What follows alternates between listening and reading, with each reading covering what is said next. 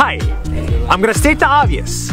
We both love to travel, but for one of us, travel is much, much harder. When I travel, I walk down the street day or night, no problem. As a girl, I walk down the street and get stares and catcalls. And during the night, I wouldn't even go out. Online, almost every message I get shows interest in me as a person. Almost every message I get shows interest in me as an object.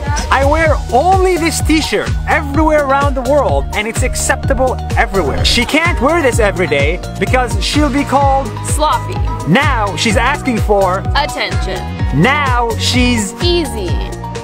There are different standards for men and for women, and when it comes to travel, the differences are glaring. I feel lucky to travel wherever, do whatever, and meet whoever with no fears, and feel sad for half the population That doesn't have it as easy. That's one minute. See you tomorrow.